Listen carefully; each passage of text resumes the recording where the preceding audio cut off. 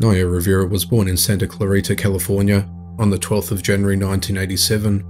She lived in or around Los Angeles for most of her life. She was of African American, German, and Puerto Rican descent. Her parents are Yolanda, a former model, and George Rivera. She was an American actress, model, and singer. She was best known in her role for the cheerleader Santana Lopez on the Fox television series Glee between the years 2009 to 2015.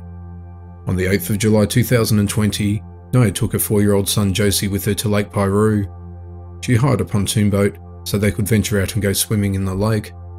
CCTV footage captured Naya's black Mercedes G-Wagon arriving at the lake's near empty parking lot at around 1pm.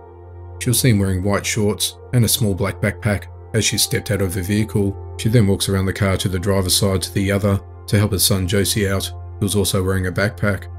She was seen taking a large white bag from the car before she and Josey walked to the dock and departed in the boat. Approximately three hours had passed after they left the dock and were due to return the boat.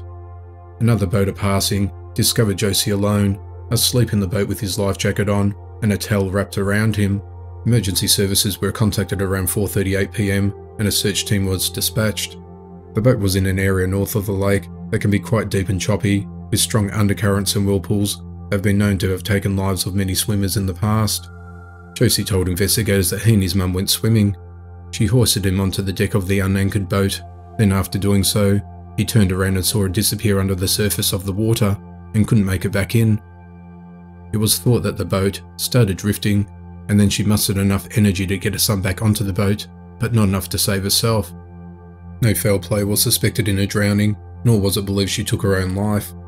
The authorities identified specific areas the two had visited that day by looking at the shoreline features in the background of FaceTime videos when she was chatting with family members while out on the lake. The authorities are confident that it is her based on the location, physical characteristics, clothing, and physical condition of the body. She was discovered in the northeast part of the lake, with depths of between 35 to 60 feet. She was near the surface of the water, but had been concealed with some heavy brush and trees on the lake bed there.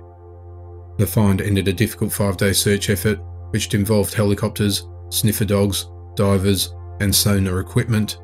It was believed that during the decomposition process, the body filled with gas and became more buoyant and surfaced on its own to make it more visible to the search team.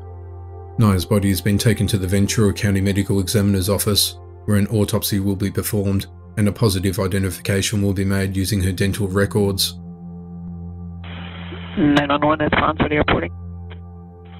Uh, Lake Piru. Um, the emergency is we have a missing person. We found a little girl in one of the boats by herself, and her mom's nowhere to be found. Okay, Lake Piru, kid found child.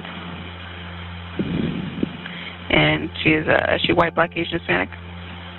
I have no idea. I'm heading down there right now to go check. My husband um, was one of the people that was first there, and I'm going to go find out more information.